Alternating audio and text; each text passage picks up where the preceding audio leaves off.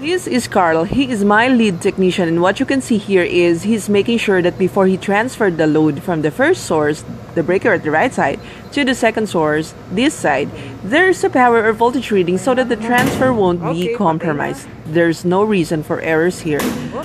Then oops, he disconnected the first power source from the load by switching off the breaker, then checked if it is completely de-energized from the upstream circuit for safety purposes before he transfer.